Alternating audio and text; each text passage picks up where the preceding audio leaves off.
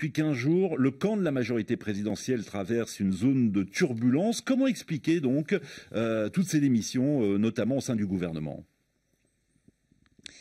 Eh bien, euh, ces démissions, hein, euh, alors pas seulement des ministres d'ailleurs, mais aussi d'autres figures hein, des, des, grandes institutions de la République ont démissionné, au départ en solidarité avec euh, leur formation politique, car leurs partis se sont en fait fait exclure de la majorité présidentielle quelques jours avant, après avoir écrit une lettre au président Joseph Kabila, une lettre qui a été jugée incendiaire. Et tout cela, les démissions, la lettre, c'est bien sûr par rapport à des inquiétudes quant à la tenue des élections, notamment la présidentielle en 2016, euh, cette dizaine de démissionnaires en fait s'inquiètent et protestent contre ce qu'ils appellent une stratégie suicidaire du gouvernement, une stratégie qui viserait en fait à retarder la tenue de la présidentielle par tous les moyens euh, pour jouer les prolongations en 2016. Selon eux, euh, les retards pris dans l'exécution du calendrier électoral, du calendrier électoral, par exemple, sont intentionnels pour retarder ensuite la tenue de la présidentielle fin novembre 2016 et éviter l'alternance à la tête du pouvoir, comme le prévoit la Constitution. Euh, exemple, hein, des élections provinciales et locales devaient se tenir dans trois semaines. Elles ont été reportées sans qu'une nouvelle date n'ait été fixée. Cinq autres scrutins doivent ensuite avoir lieu.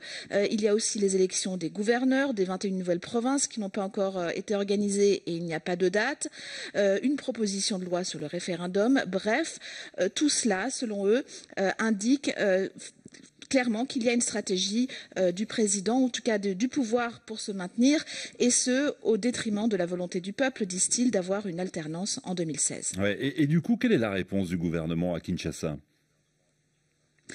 Eh bien, deux choses. Hein. Pour ce qui est euh, des accusations lancées par ces ex-ministres, ces ex-membres de la majorité, euh, le porte-parole du gouvernement, Lambert Mende, les accuse, je cite, de procès d'intention. Selon lui, rien ne prouve qu'il y a une volonté de violer la Constitution. Au contraire, le redécoupage des, nouvelles provinces, l'élection, l'organisation des, élections locales, par exemple, sont par cette constitution. Enfin, euh, le, porte-parole du gouvernement rappelle que Joseph Kabila s'est toujours engagé publiquement hein, à veiller au respect de la constitution.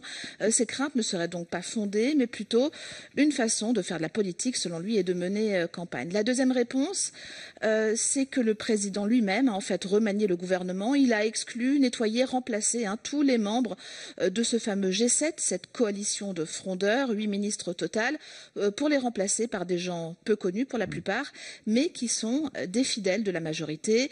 Euh, il a aussi choisi de garder son Premier ministre, Matata Pogno, et son équipe rapprochée, une façon sans doute hein, de montrer que tout ce bruit et ces démissions fracassantes ne doivent pas euh, influencer l'action gouvernementale.